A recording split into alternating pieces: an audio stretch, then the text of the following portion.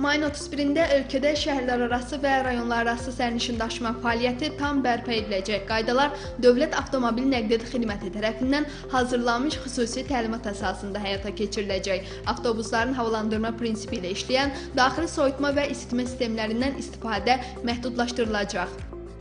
Təlimat bütün avtovağzalarımıza, avtostansiyalarımıza göndərilib, bütün daşıyıcılara təqdim olunub. Həmin təlimata əsasən ə, sərnişinlər daşınacaq, yəni avtobusların sayı isə daşımalara, sərnişin sayına, sərnişin axınına uyğun olaraq təmin olunacaq. Bir də sual oluna bilər ki, e, bütün istiqamətlərə marşrut xətləri bərpa olundu? Bəli, bütün istiqamətlərə marşrut xətləri bərpa olundu. Bu istiqamətlər ə, ötən ilin mart ayının 20-sinə qədər hansı formada idisə, artıq yenə də həmin istiqamətlər həmin formada ə, vətəndaşlar vətəndaşlar, sərnişinlər öz ə, səfərlərini təmin edə biləcəklər.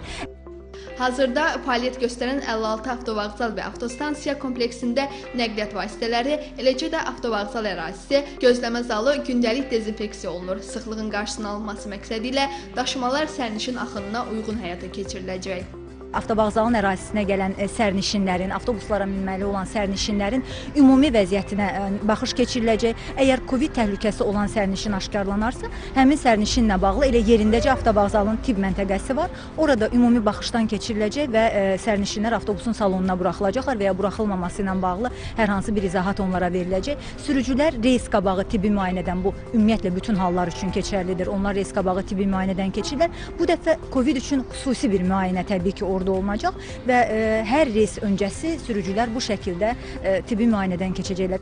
Ümumilikdə avtovağzallar fəaliyyət göstərdiyi dövrdə gün ərzində 2 milyona yaxın sərnişin daşıyır. Bu rəqəmin 611 mini şəhərlərarası və rayonlararası sərnişin daşımalara aiddir. Avtovağzal və avtostansiya kompleksi həftə sonları fəaliyyət göstərməyəcək. Aysimən Aslanova, Rıza Fəttahov, Telesəhər.